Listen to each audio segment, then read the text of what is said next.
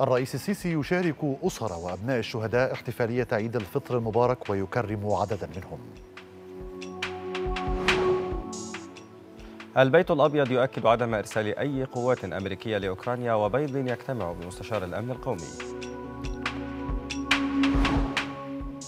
لافروف يؤكد أن روسيا لن تحاول إنهاء العملية العسكرية في أوكرانيا بحلول يوم النصر.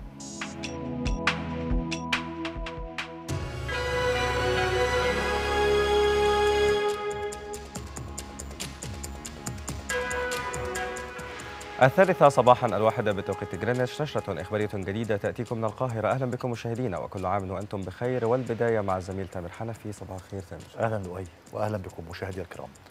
أجرى الرئيس عبد الفتاح السيسي اتصالا هاتفيا مع الشيخ نواف الأحمد الجابر الصباح أمير دولة الكويت للتهنئة بمناسبة عيد الفطر المبارك معربا عن خالص تمنياته بالتقدم والازدهار للشقيقة الكويت. المتحدث باسم رئاسة الجمهورية قال إن أمير الكويت أعرب عن امتنانه للتهنئة واللفتة الكريمة للرئيس عبد الفتاح السيسي متمنيا لمصر حكومة وشعبا كل سلام وأمن واستقرار. تلقى الرئيس عبد الفتاح السيسي اتصالا هاتفيا من الأمير فهد بن سلطان بن عبد العزيز آل سعود أمير منطقة تبوك. وذلك للتهنئه بمناسبة عيد الفطر المبارك. داعيا الله تعالى أن ينعم على البلدين الشقيقين بالخير واليمن والبركات. وأكد المتحدث باسم رئاسة الجمهورية أن الرئيس السيسي أعرب عن تمنياته للمملكة العربية السعودية وشعبها الشقيق كل الخير والتقدم والازدهار.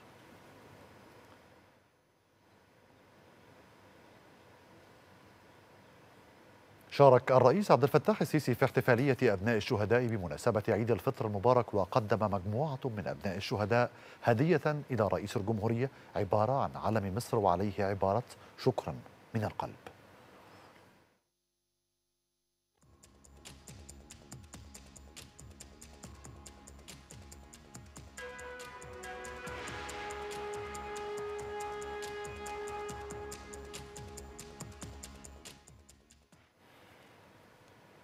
شارك أبطال مسلسلي الاختيار والعائدون في احتفالية أبناء الشهداء بعيد الفطر بحضور الرئيس عبد الفتاح السيسي والذي أكد في كلمة له أن العمل الدرامي نقل بكل أمانة الأحداث التي وقعت عام 2013 مبينا أن الشهداء لم يسقطوا في معركة الطغيان ولكن في معركة حماية الوطن.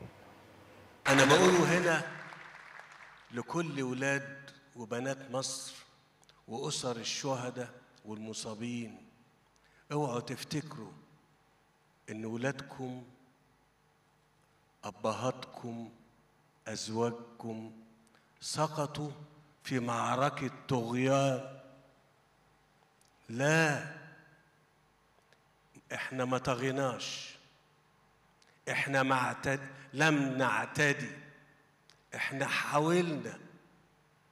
وكل كلمة اتقالت دي كانت عبارة عن واقع نقلتوه. وأكد الرئيس عبد الفتاح السيسي أن القوات المسلحة كانت حريصة دوما على عدم الصدام في فترة حكم الإخوان الإرهابية حتى في طريقة كتابة البيان الذي خرج عقب ثورة الثلاثين من يونيو من عام 2013 طب تصدقوا بالله حتى البيان اللي كتبناه كنا حريصين إن إحنا لآخر لحظة ما يحصلش صدام. لا قلنا فيه عزل رئيس ولا قلنا فيه مش عارف جماعة إرهابية ولا أي حاجة. كما أضاف الرئيس السيسي أن جماعة الإخوان الإرهابية هددت الجيش باستهداف أمن مصر في ثلاث مناسبات خلال مرحلة حساسة من تاريخ البلاد. أنا عايز أقول لكم الموضوع اللي حصل فيه تهديد مباشر. للجيش اتعمل ثلاث مرات. مرة اتعمل مع المشير الله يرحمه حسين طنطاوي إن لو الانتخابات والنتائج طلعت غير الرئيس الله يرحمه مرسي يبقى البلد هتولع. المرة التانية لما خيرت الشاطر قال إحنا نقدر حرقنا المقرات بتاعت الأمن الوطني ونقدر نعمل محاكمة شعبية ليهم ونحاكمهم. المرة الثالثة كانت ليا شخصيا قسما بجلال الله. خمسة وأربعين دقيقة خمسة وأربعين دقيقة. يعمل لي بإيده كده. خمسة وأربعين دقيقة. يقول لي هنقتل وهنجيب من كل حتة وحن وهتولع الدنيا. هذا وقد حرص السيد رئيس الجمهورية على تكريم أبناء أسر شهداء الجيش المصري وقوات الشرطة وتضمنت قائمة أسماء شهداء الجيش المكرمين اسم الشهيد عميد أركان حرب خالد أحمد علاء الدين علي واسم الشهيد عميد أركان حرب محمد محمود محمد عبد المتجلي واسم الشهيد رقيب أول إسلام أحمد زاهي أحمد. كما كرم الرئيس شهداء الشرطة وهم اسم الشهيد عقيد شرطة أحمد جابر أحمد نصار واسم الشهيد مقدم شرطة عبد الرحمن عادل عبد الرحمن عبده واسم الشهيد مساعد شرطة أول محمد علي صابر علي واسم الشهيد جندي عبد الرحمن محمد عبد الحكم. ثم كرم الرئيس شهداء الأطقم الطبية وهم اسم الشهيد فني تمريض فوزية فوزي أحمد إسماعيل. وجه أسر الشهداء التهنئة للرئيس عبد الفتاح السيسي بمناسبة عيد الفطر المبارك مثمنين دعمه المستمر لهم كما أكدوا استعدادهم لبذل المزيد من التضحيات من أجل الوطن. المزيد في التقرير التالي.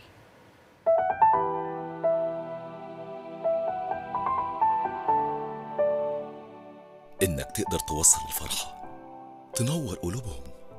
ومش بس كده ده النور اللي فيها ينور مصر كلها وأراضيها.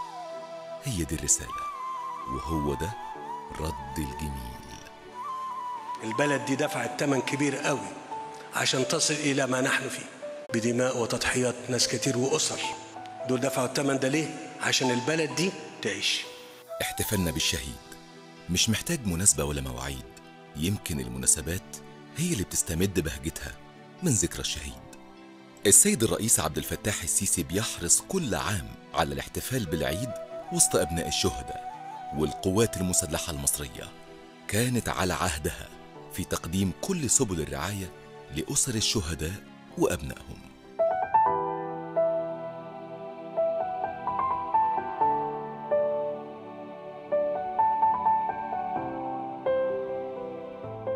رسالة حب وممر محبة من الزملاء والأحباب بنقدمها ليهم.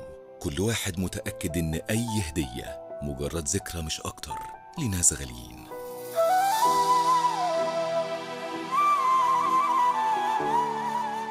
أنا أول ما دخلت من المدرسة حسيت بفرح بفرحة كبيرة وإن زمايلي شايفيني وبيسقفوا لي فكان الموضوع ده كان مفرحني أوي.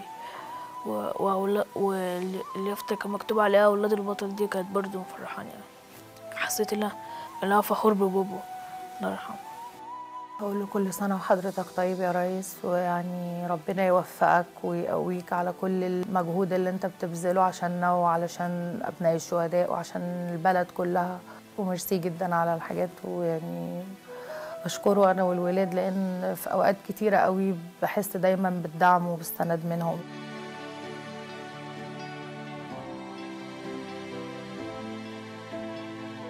الحمد لله على اللي ربنا عطاهوني واللي ربنا خده مني.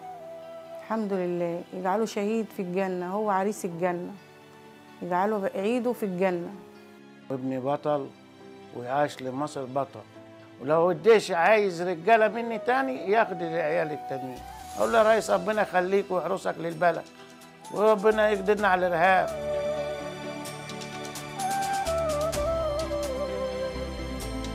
أنا حابة أشكر سيادة الرئيس عبد الفتاح السيسي على الهدية دي. هو دايما فاكرنا و... ودايما حاطط أسر الشهداء عنده أولوية وده شيء طبعا بيسعدنا جدا. وحابة أقول له كل سنة وهو طيب وكل سنة ومصر كلها طيبة. وأتمنى طبعا إن مصر كلها تفضل عايشة في سلام وأمان تحت ظل الرئيس بأمر الله. هقول له ألف مبروك. أنت وصلت لمرتبة أكبر بكتير من اللي إحنا نتمناه. ألف مبروك يا ابني. أنا فرحان لك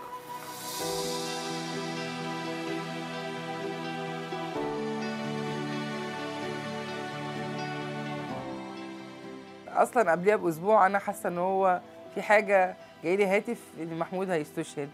هو قبلها بشهرين كان بيقول لي امي نفسي استشهد. بس هو الحمد لله يعني أنا بحمد ربنا بشكر فضله. هو كان راجل ويستاهلها كان جاله التجنيد.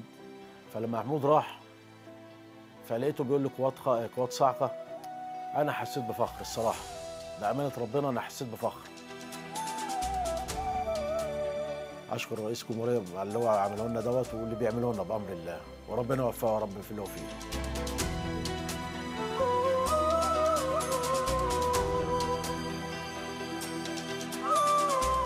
طول عمرنا فخورين بيك وأنت كنت شرف وأنا اتشرفت إن أنا كنت زوجتك. شلت اسمك واتشرفت بالسبع سنين اللي أنا عشتهم معاك. الرئيس عبد الفتاح السيسي وبيخطب في ليلة القدر. من طريقة إلقائه وطريقة إخلاصه لوطنه. والله بكيت اللي بيطلع بيطلع من قلبه لإخلاصه عمله ويتمنى لكل واحد مصري يعرف قيمة تراب البلد دي.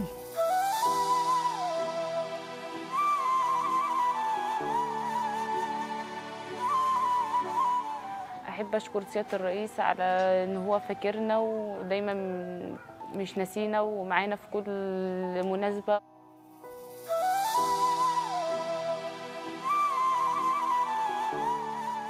أنا بشكر الرئيس عبد الفتاح السيسي على يعني إن هو جبر بخاطرنا وبعت حضرتك لنا طبعا الواحد يحس بفرحة كبيرة جدا جدا. كون القوات المسلحة تيجي لحد هنا وتشرفنا بنفسها وتخلي حضراتكم تقولنا لحد هنا.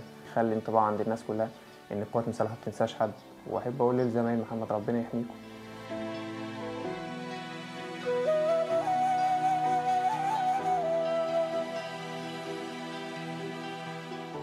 هو طبعا كلنا نتمنى الشهادة. ده شرف لأي بني آدم. لأن محمد كان راجل وعاش راجل ومات راجل. كل سنة وأنت طيب يا ريس متشكرين إن أنت افتكرتنا في العيد. وكل سنة تفتكرنا على طول بإذن الله. النهارده يوم العيد. كلنا جايين عشانكم. نفسنا نفرح قلوبكم. مصر ما بتنساش وجودكم. مصر ما بتنساش شهيد. احتفال بنصر عنوانه الشهيد.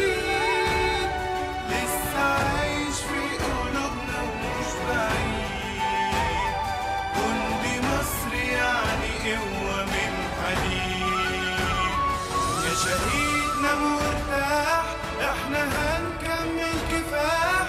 لسه المشوار طويل جيل وبيسلم لجيل جيل وبيسلم لجيل جيل وبيسلم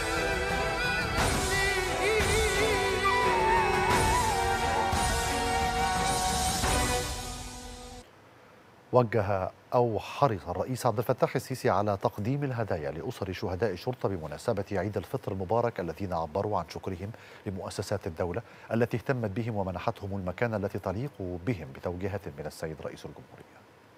ولسه بحس بيك جنبي في كل مكان.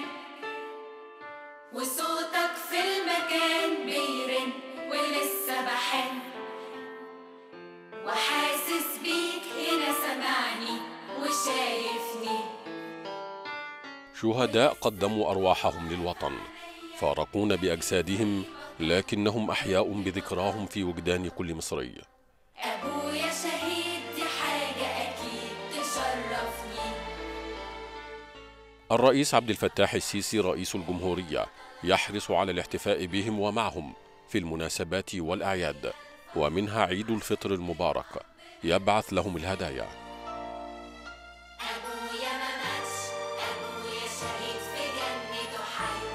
دايما بي- بيفاجئنا بالتكريم وبيفاجئنا بالشكر وبيفاجئنا بكل حاجة حلوة تسعدنا وتسعد أولادنا. النهارده أنا مبسوطة جدا آه، بوجودكم معانا ومن هدايا الرئيس م- ما نسناش وافتكرنا ودي حاجة كويسة وإحنا فخورين بيها. وحشني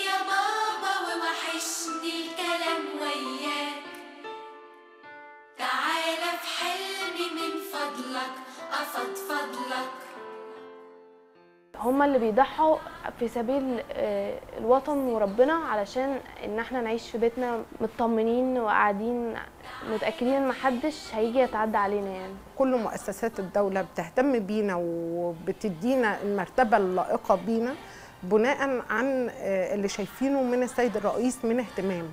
كل سنه وأنتم طيبين. السيد الرئيس بعت لكم الهدية دي بمناسبه عيد الفطر.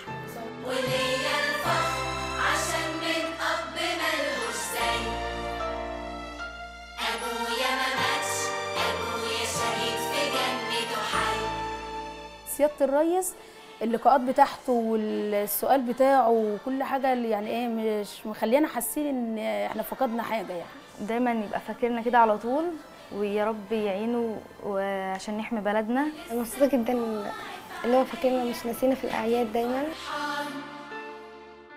عشان بيقولوا إني بطل وابن بطل. أبويا شهيد دي حاجة أكيد. تشرفني الدولة دايما متواصلة معانا وبتهتم بينا ودايما مش ناسيانا في أي حاجة. آه، ودايما الرئيس على تواصل دايما مع أولاد الشهداء و- ودايما فاكرينهم. آه، عدى وقت طويل قوي من تاريخ الاستشهاد وهم على تواصل معانا ما ما نسوناش أبدا. وليه ما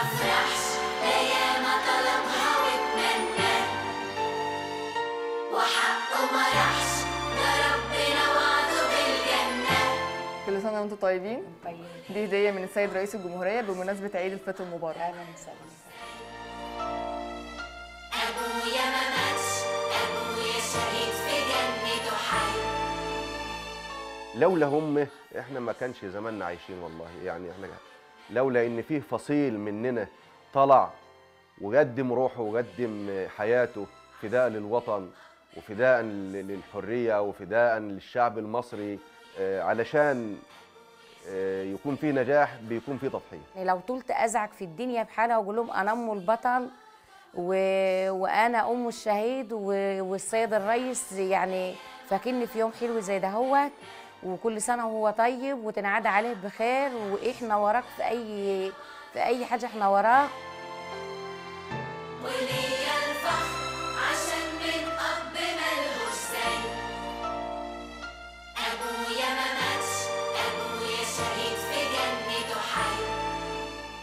متشكرين على الهدية اللي هو فاكرنا دايما في أي مناسبة في أي حاجة مش بينسانا. أسرة الشهداء كلنا الصراحة مش سايبنا يعني الراجل مش متأخر علينا في أي حاجة في أي مناسبة أي مناسبة بتحصل في العيد في أي حاجة الراجل ما يتأخرش علينا. حتى في المدارس بتاعت الأطفال الحمد لله يعني ما يتأخرش علينا.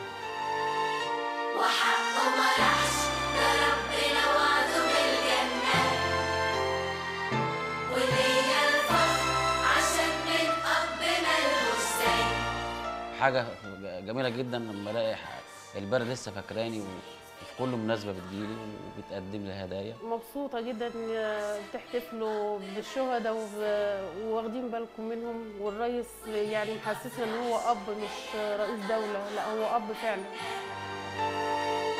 وحقه ما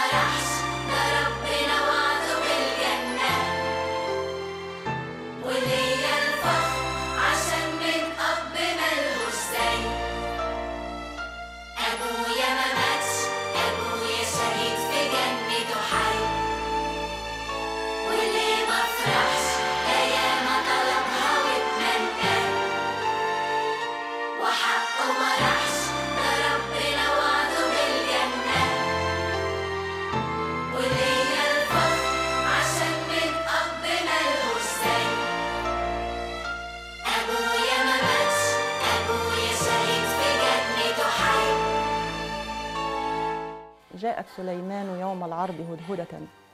أهدت إليه جرادا كان في فيها. وأنشأت بلسان الحال قائلة إن الهدايا على مقدار مهديها. لو كان يهدى للمرء قيمته لكان يهدى لك الدنيا وما فيها. باختصار الهدية من سيادة الرئيس قيمة جدا وعظيمة جدا أيا كانت هي إيه. الهدية لا تكمن في قيمتها المادية. ولكن في التكريم المعنوي اللي أهده لنا إنه فاكر شهيدنا وفاكر والدنا اللي ضحى بنفسه وضحى بدمه عشان البلد. الهدية دي من سيادة الرئيس عظيمة جدا لأنها وإن دلت تدل على إن سيادة الرئيس مقدر هذا الدم اللي سال على الأرض. شاركت وزارة الداخلية المواطنين فرحتهم بالاحتفال بعيد الفطر المبارك. المزيد في هذا التقرير.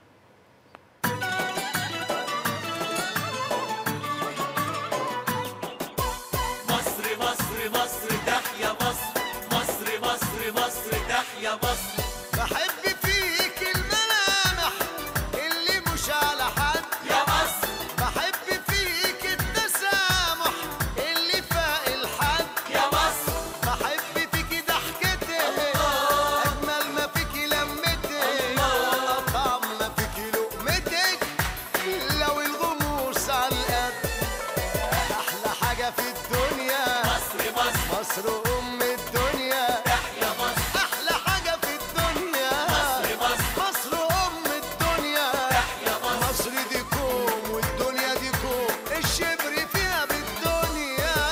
مصر مصر مصر تحيا مصر. مصر مصر مصر تحيا مصر. كل سنة والشرطة بخير ومصر بخير. وبلدنا يا رب بخير. شكرا لحضراتكم. كل سنة وأنتم طيبين وبعاد الأيام كل سنة وأنتم طيبين ومصر بخير إن شاء الله وأمان. وتحيا مصر تحيا مصر تحيا مصر رغم أنف الحاقدين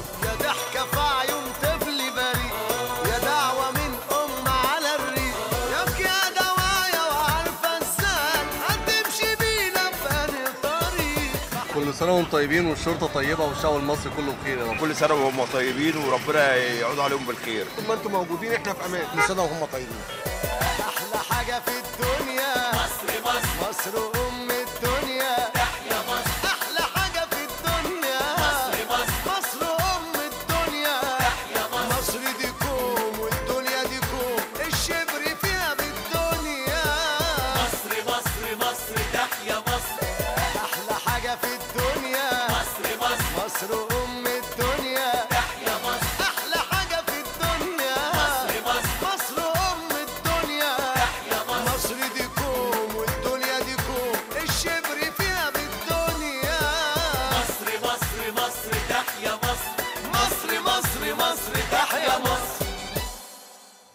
واصلت وزارة الداخلية حملاتها اليومية لمتابعة أسعار السلع الاستراتيجية وضبط قضايا حجب السلع والبيع بأزيد من السعر الرسمي. وزارة الداخلية تمكنت خلال 24 ساعة من ضبط 304 من القضايا التموينية بمضبوطات بلغت أكثر من 100 طن من المواد الغذائية وغير الغذائية. ففي مجال حجب السلع الاستراتيجية تم ضبط 37 طنا من السلع الغذائية. أما في مجال عدم الإعلان عن الأسعار بقصد البيع بأزيد من السعر الرسمي للسلع الغذائية تم ضبط أكثر من 23 طنا. كما تم ضبط قرابة حوالي 14 طنا من الدقيق المدعم في مجال الاستيلاء على السلع المدعومة. أما في مجال البيع بأزيد من السعر الرسمي لمواد البناء فتم ضبط حوالي 20 طنا من الحديد إضافة إلى ستة أطنان من الأسمنت. أما في مجال قضايا المخابز فتم ضبط حوالي 340 قضية من بينها 83 قضية خبز ناقص الوزن مع 74 قضية لخبز غير مطابق للمواصفات المصرية.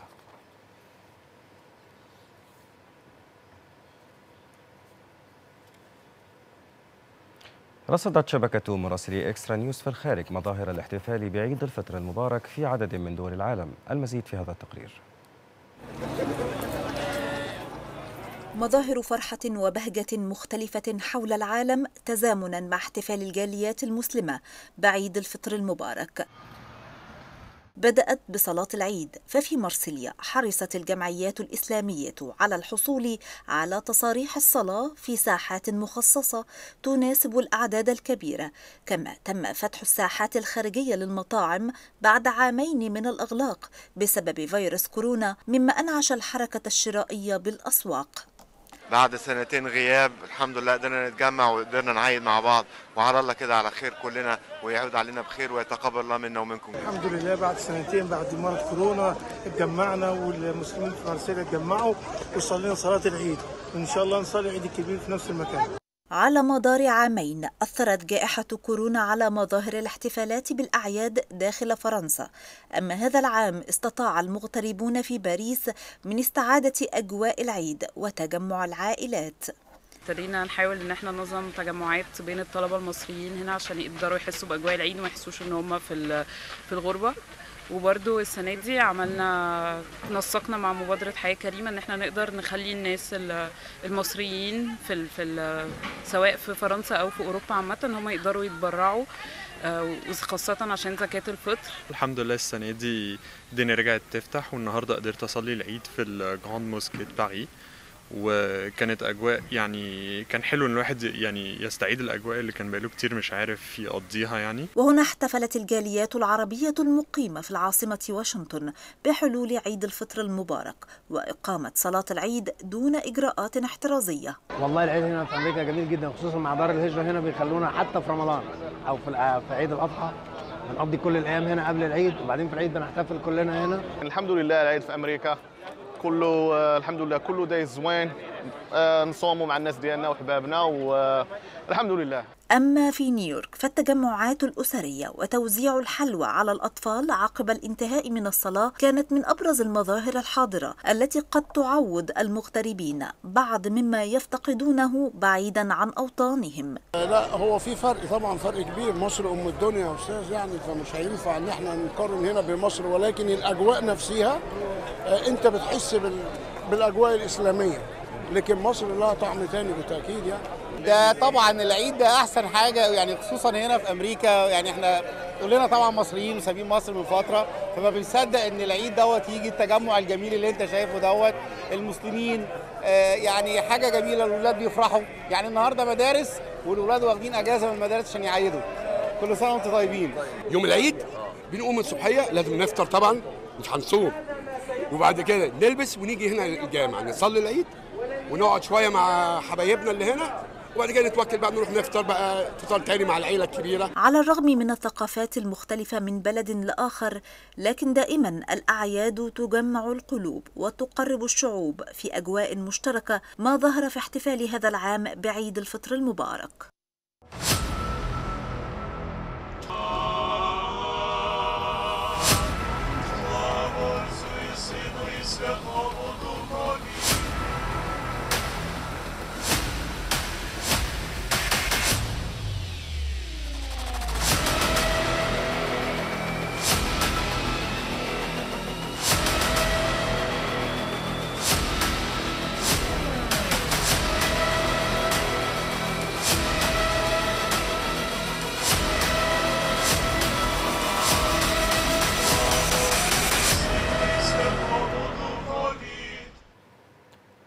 أعلن البيت الأبيض بأن الرئيس الأمريكي جو بايدن اجتمع بمستشار الأمن القومي مع فريقه ليطلع على آخر مستجدات الحرب في أوكرانيا. البيت الأبيض أكد أن بايدن يرغب في زيارة كييف العاصمة لكن لا يوجد أي خطط حاليا. بل وشدد البيت الأبيض على أن واشنطن لن ترسل أي قوات أمريكية إلى أوكرانيا. أكد الرئيس الأوكراني فولوديمير زيلينسكي أن المفاوضات مع روسيا معقدة بسبب انتهاكات موسكو مشيرا أن- المفاوضين الروس لا يملكون صلاحيات اتخاذ القرار. كما أعرب رئيس أوكرانيا عن استعداد بلاده لبحث مسألة الحياد شرط الحصول على ضمانات. وأكد زيلينسكي أن روسيا ستتسبب بأزمة غذاء عالمية بسبب عمليتها العسكرية على أوكرانيا معلنا أن القوات الروسية دمرت مدنا بأكملها. أكد وزير الخارجية الروسي سيرجي لافروف بأن روسيا لن تحاول إنهاء العملية العسكرية في أوكرانيا بحلول يوم النصر الذي يتم الاحتفال به في التاسع من مايو الجاري لافروف أشار إلى أن العملية كانت تهدف وبشكل خاص إلى ضمان سلامة المدنيين مع. مع التأكد عن عدم وجود تهديدات من أوكرانيا لهؤلاء المدنيين أو لدولته روسيا أكد المتحدث باسم الخارجية الأمريكية أن روسيا لن تتمكن من احتلال أوكرانيا قائلا إن حرب روسيا على أوكرانيا جعلتها دولة منبوذة مستنزفة مؤكدا أيضا أن لذلك تداعيات على وضعها الدولي والإقليمي. هدفنا وهدف الدول النووية المسؤولي المسؤولة وأصحاب المصلحة التأكد من أن آه، أعراف عدم انتشار الأسلحة يتم احترامها وأن هذه محمية ومعززة لهذا السبب نتحدث بكل وضوح ردا على هذه التعليقات المتهورة من الروس. أعرب رئيس وزراء الهند ناريندرا مودي عن قلقه من تداعيات الحرب في أوكرانيا. جاء ذلك خلال محادثاته التي أجراها في برلين مع المستشار الألماني أولاف شولتز. من جانبه أكد شولتز بأن استهداف روسيا للمدنيين في أوكرانيا انتهاكا للقوانين الدولية كما أعلن أن الاتحاد الأوروبي سيوقف استيراد الفحم الروسي هذا الصيف وسيتخلص من النفط الروسي في نهاية عام 2022 كما أكد المستشار الألماني أن العقوبات لن ترفع قبل توقيع روسيا على اتفاق سلام مع أوكرانيا.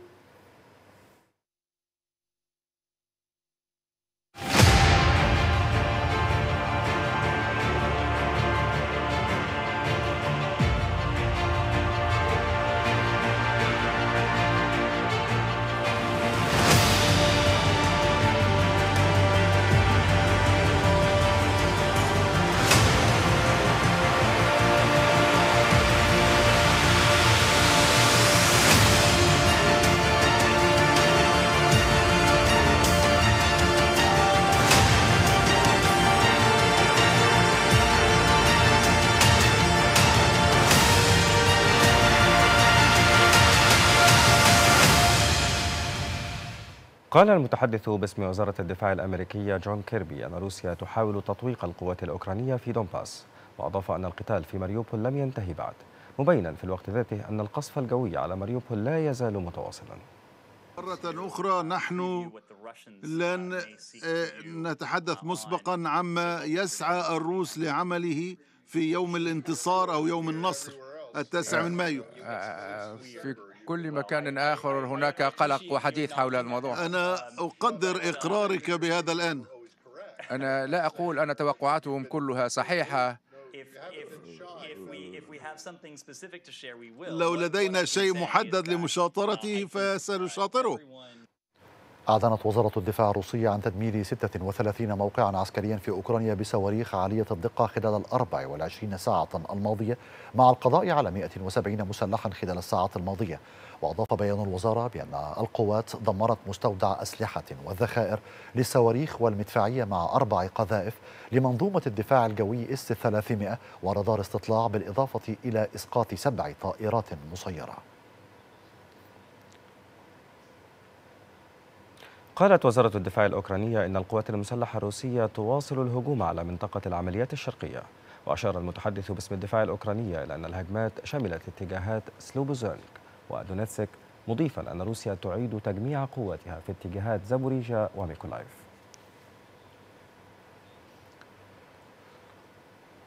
أفادت وكالة رويترز للأنباء بأن مسؤولا دفاعيا أمريكيا أعلن بأن الولايات المتحدة تعتقد أن رئيس هيئة الأركان العامة للجيش الروسي فاليري جيراسيموف زار منطقة دونباس الأوكرانية الأسبوع الماضي لكن لا يمكن تأكيد تقارير إعلامية تفيد بأنه أصيب أثناء القتال. المسؤول الأمريكي قال إنه يمكن لواشنطن أن تؤكد أنه كان في دونباس.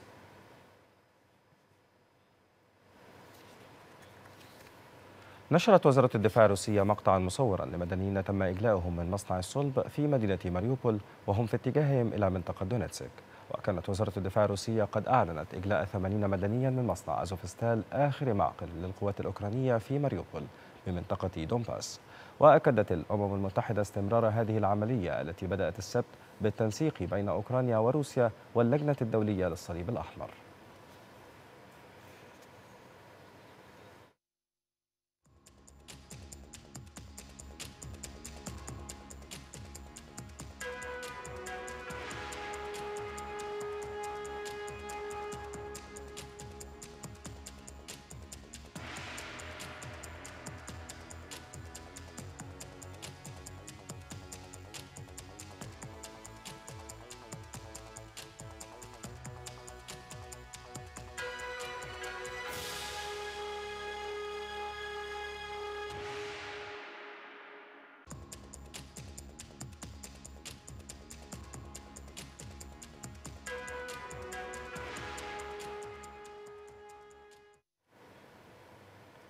أعلنت مساعدة وزير الدفاع الأمريكي للشؤون الدولية سيلست والندر بأن الولايات المتحدة تحاول ضمان تحول الوضع في أوكرانيا إلى فشل استراتيجي لروسيا. وقالت والندر خلال ندوة في المجلس الأطلسي في واشنطن العاصمة الأمريكية قالت بشأنه إن مهمة حكومة الولايات المتحدة فيما يتعلق بروسيا والأمن الأوروبي وسيادة أوكرانيا ووحدة أراضيها هي ضمان انتهاء هذه الأزمة بفشل استراتيجي لروسيا. كما أكدت بأن العقوبات الغربية ستضرب بمرور الوقت وبشكل متزايد الاقتصاد الروسي بشكل عام وقطاع الصناعة الدفاعية بشكل خاص.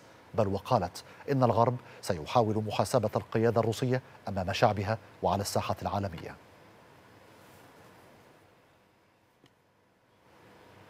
أعلن قصر الإليزي أنه منذ بداية العملية العسكرية الروسية على أوكرانيا أرسلت السلطات الفرنسية مساعدات عسكرية إلى كييف بقيمة 100 مليون يورو. وإنها تخطط لإرسال مساعدات جديدة وإن فرنسا ستواصل تزويد أوكرانيا بإمكانات عسكرية إضافية استجابة لمتطلبات السلطات الأوكرانية وبالتنسيق مع شركائها وحلفائها الأوروبيين. وأكدت المتحدثة باسم الخارجية الفرنسية في وقت سابق أن المساعدات العسكرية التي تقدمها باريس وحلفاؤها إلى أوكرانيا لا تعني أن هذه الدول تخوض حربا ضد روسيا.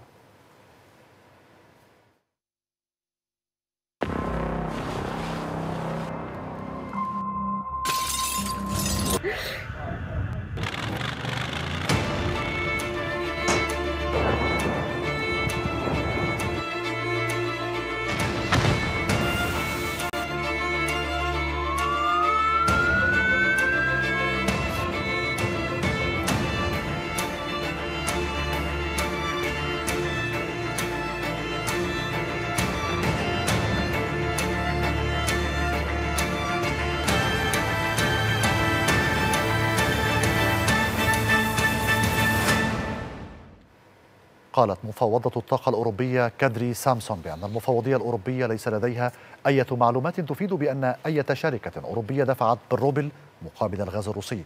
وخلال مؤتمر صحفي في ختام الاجتماع الطارئ لوزراء الطاقة في أوروبا في بروكسل قالت سامسون إن دفع ثمن إمدادات الطاقة الروسية بالروبل يعتبر انتهاكا للعقوبات.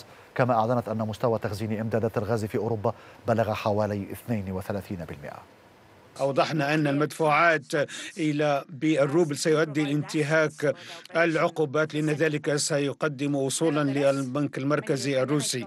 ولكن الكثير من الشركات سوف تقوم بتسديد مدفوعاتها في منتصف شهر مايو وتحاول أن تفهم بطريقة أفضل الوضع.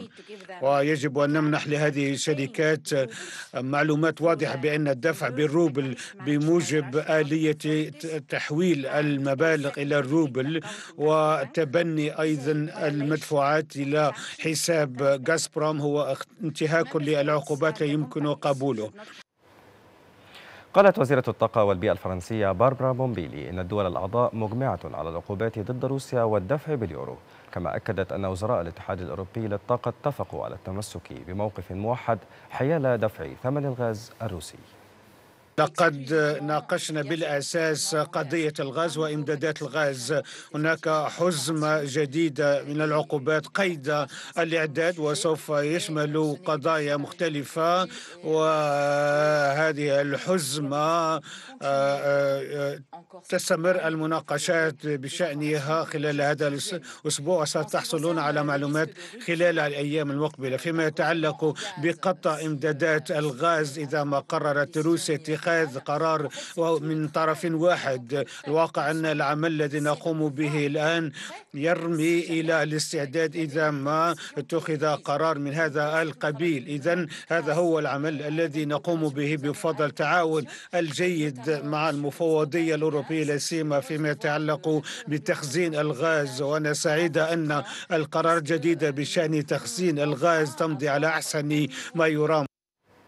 نفت الحكومة الإيطالية ما تردد عن توجه روما إلى السماح للشركات بدفع ثمن إمدادات الغاز الروسي بالروبل وأكدت إيطاليا أنها في انتظار تحديد موقف مشترك على مستوى الاتحاد الأوروبي من المدفوعات إلى روسيا.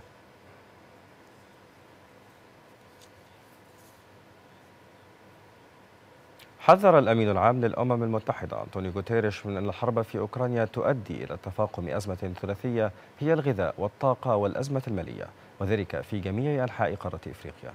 جاء ذلك خلال زيارة غوتيريش إلى السنغال واجتماعه مع الرئيس ماكي سال وأكد غوتيريش ضرورة ضمان التدفق المستمر للغذاء والطاقة في الأسواق المفتوحة وإزالة جميع قيود التصدير غير الضرورية.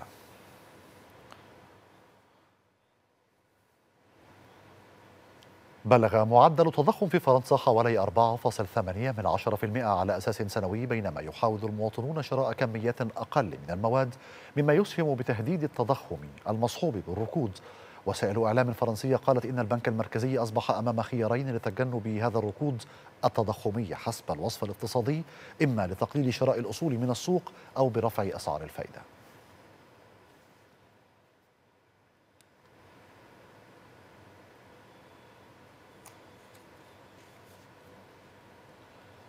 أعلن رئيس الوزراء الإيطالي ماريو دراغي أن حكومته وافقت على حزمة تحفيز جديدة قيمتها 14 مليار يورو لحماية الشركات والأسر من الآثار الاقتصادية للحرب في أوكرانيا.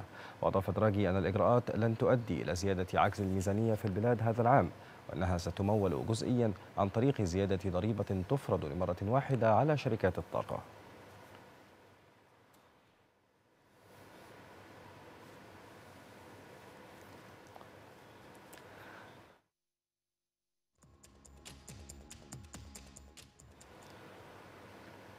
أفادت وكالة بلومبرج أن المزارعين في جميع أنحاء العالم يواجهون نقصا في إمدادات الأسمدة التي تستخدم لزيادة الإنتاج والحيلولة دون تدمير المحاصيل الزراعية وسط مؤشرات قاتمة بشأن الموسم الحالي مع مخاوف من اضطرابات في العالم بسبب ارتفاع أسعار المواد الغذائية. وبحسب ما أوردته الوكالة الإنجليزية فإن السيناريو الأقل حدة يشير إلى أن ارتفاع أسعار الأسمدة قد يؤدي إلى انخفاض غلة المحاصيل مما سيرفع الأسعار في متاجر البقالة وذلك لأشهر أو حتى لسنوات عدة في جميع أنحاء العالم مما سيؤثر على الأمن الغذائي لكل أسر العالم. أدت الأزمة الروسية الأوكرانية فعليا إلى قطع ما يقرب من خمس صادرات العالم من الأسمدة. المزيد حول هذه الأزمة مع زميل أحمد أبو زيد. لا تزال الأزمة الروسية الأوكرانية تخيم بظلالها السلبية على الاقتصاد العالمي. لم تتوقف هذه الأزمات التي خلفتها الأزمة عند حد ارتفاع أسعار النفط والسلع الأساسية أو توقف سلاسل الإمداد فقط. إذ تتزايد المخاوف بشأن الإمدادات العالمية هذه المرة من الأسمدة ما يهدد الأمن الغذائي العالمي. الأزمة الروسية الأوكرانية أدت فعليا إلى قطع ما يقرب من خمس صادرات العالم من الأسمدة وبالتالي فقدان سكان العالم لنحو 50% من المحاصيل التي ينتجونها. يواجه المزارعون في جميع أنحاء العالم نقصا واضحا في إمدادات الأسمدة التي تستخدم لزيادة الإنتاج والحيلولة دون تدمير قطاع كبير من المحاصيل الزراعية. وكالة بلومبرج للأنباء قالت إن السيناريو الأقل حدة يشير إلى أن ارتفاع أسعار الأسمدة من شأنه أن يؤدي إلى انخفاض ناتج المحاصيل ما من شأنه وبالضرورة أن يرفع أسعار المواد الغذائية في جميع أنحاء العالم حتى في تلك الدول المتقدمة. أما بشأن الاقتصادات النامية فإن انخفاض استخدام الأسمدة في هذه الاقتصادات سيواجه بالفعل مستويات عالية من انعدام الأمن الغذائي ما من شأنه أيضا أن يهدد بسوء التغذية. اتصالا بأزمة نقص الأسمدة التي تهدد الأمن الغذائي العالمي. فقد حذر الرئيس الأوكراني فلاديمير زيلينسكي مما أسماها أزمة غذائية عالمية. مشيرا إلى أن بلاده التي تعد مصدرا رئيسيا للحبوب قد تخسر عشرات الملايين الإضافية من الأطنان بسبب الحصار الروسي لموانئها المطلة على البحر الأسود. تحذيرات الرئيس الأوكراني فلاديمير زيلينسكي وجدت صدى لها إذ دعا وزير الزراعة الألماني إلى مساعدة أوكرانيا في تصدير القمح. مشيرا إلى أنه سيناقش كيفية ضمان إيصال كييف إلى الأسواق العالمية ونفاذها مع بحث إتاحة طرق نقل بديلة خلال قمة مجموعة السبع لوزراء الزراعة التي ستعقد منتصف هذا الشهر. الأمم المتحدة بدورها حذرت مجددا من أن تداعيات الصراع في أوكرانيا قد يخلف آثارا خطيرة على قدرتها على إيصال مساعدات الأغذية اللازمة بصورة عاجلة لقطاع كبير من دول العالم التي تحتاج. مدير برنامج الغذاء العالمي ديفيد بيزلي قال إن هناك نحو أربعة ملايين ونصف المليون طن من الحبوب محتجزة داخل الموانئ الأوكرانية. أزمات متعددة في قطاعات مختلفة. لم تقتصر فقط على أزمات سلاسل التوريد أو الأزمات المرتبطة بارتفاع كلفة المعيشة وزيادة الأسعار وإنما حتى المحاصيل الزراعية تواجه مشكلة أساسية مرتبطة باستراتيجية وصناعة حيوية تقوم عليها هذه الزراعات وهي الأسمدة. أزمة من شأنها أن تخلف أزمة غذاء عالمية وفق تقديرات المؤسسات الدولية ذات الصلة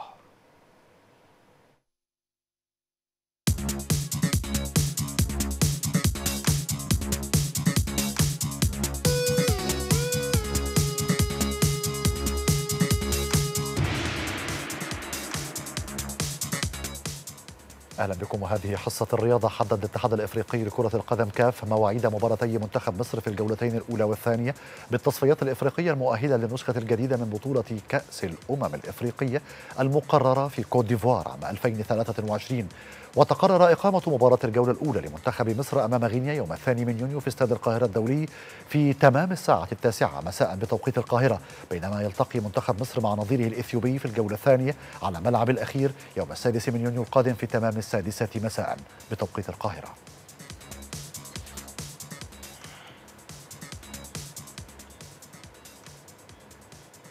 أعلن الاتحاد الدولي لكرة القدم فيفا معاقبة الاتحاد السنغالي لكرة القدم بعد الأحداث التي شهدتها مباراة مصر والسنغال في إياب التصفيات الإفريقية المؤهلة لكأس العالم 2022 والتي انتهت بفوز السنغال بركلة الترجيح.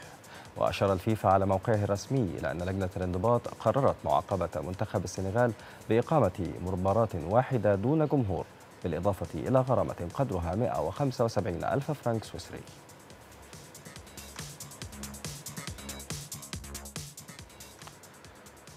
أصدر الاتحاد الأوروبي لكرة القدم عقوبات ضد الأندية الروسية من بينها استبعادها من المشاركات الكروية في الموسم القادم. وذكر الاتحاد بأن العرض الروسي لاستضافة بطولتي كأس الأمم الأوروبية 2028 ويورو 2032 غير مؤهل.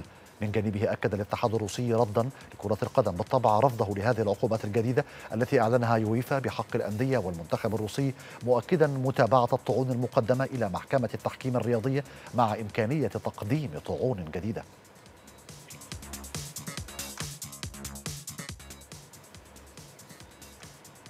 يواجه ليفربول الإنجليزي فريق فياريال الإسباني في التاسعة من مساء اليوم الثلاثاء في إياب نصف نهائي دوري أبطال أوروبا. وكان ليفربول قد فاز في لقاء الذهاب على أرضه بهدفين نظيفين. وقال المدير الفني لليفربول إنه على الفريق أن يكون مستعدا لمواجهة ضغط فياريال مشيرا خلال المؤتمر الصحفي للمباراة إلى أن فريقه أنجز نصف المهمة فقط. مواجهة حاسمة يستضيفها استاد لاسيراميكا في شرق إسبانيا بين ليفربول الإنجليزي ومضيفه فياريال الإسباني في إياب نصف نهائي دوري أبطال أوروبا. ال Reds تقدم خطوة كبيرة نحو بلوغ المباراة النهائية لمسابقة Champions League بعد فوزه في ملعب أنفيلد على ضيفه فياريال بهدفين مقابل لا شيء في ذهاب نصف النهائي. ويبحث ليفربول عن الفوز بأي نتيجة أو التعادل أو الخسارة بفارق هدف للتأهل إلى الدور المقبل. أما فريق الغواصات الصفراء الذي تأهل إلى نصف النهائي لأول مرة منذ 16 عاما بعدما أقصى يوفنتوس الإيطالي وبايرن ميونخ الألماني يسعى لإكمال مشواره المميز واستغلال عامل الأرض والجماهير لتعويض خسارته أمام ليفربول للتأهل إلى نهائي دوري الأبطال.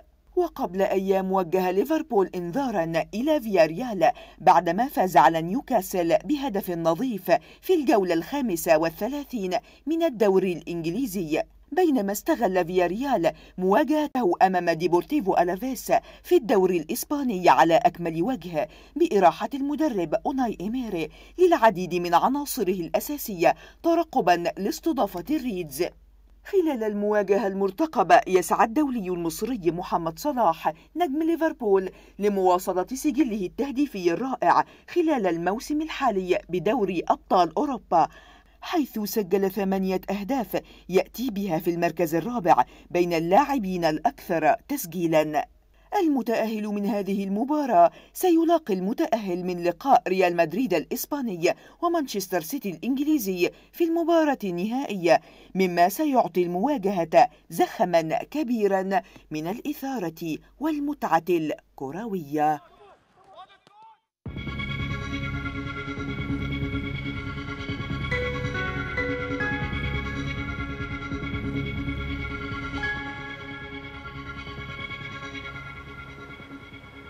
يسود البلاد اليوم الثلاثاء طقس حار نهارا على القاهرة الكبرى والوجه البحري شديد الحرارة على شمال وجنوب الصعيد بينما يسود طقس لطيف ليلا على معظم الأنحاء. وفيما يلي نقدم لحضراتكم هذا البيان بهذه الدرجة المتوقعة.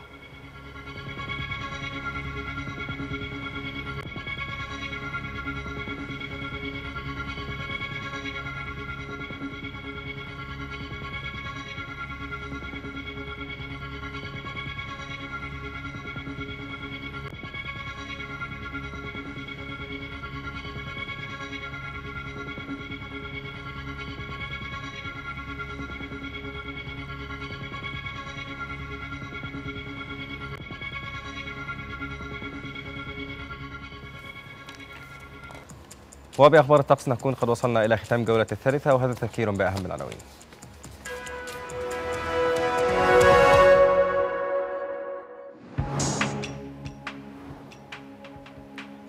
الرئيس السيسي يشارك أسر وأبناء الشهداء احتفالية عيد الفطر المبارك ويكرم عددا منهم.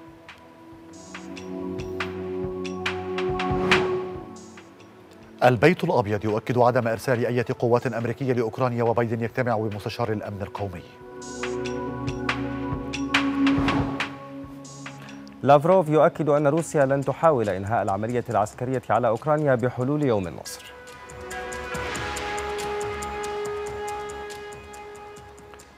هذه نقطة ختامنا ولمزيد من الأخبار يمكنكم تحميل تطبيق إكسترا نيوز من خلال App Store أو Google Play أو من خلال ال QR code الظاهر أمام حضراتكم الآن على هذه الشاشة. نلتقيكم إخباريا على رأس الساعة القادمة إلى هذا الحين وأبدا نستودعكم الله. كنت معكم أنا تامر حنفي بصحبة لؤي أباظة.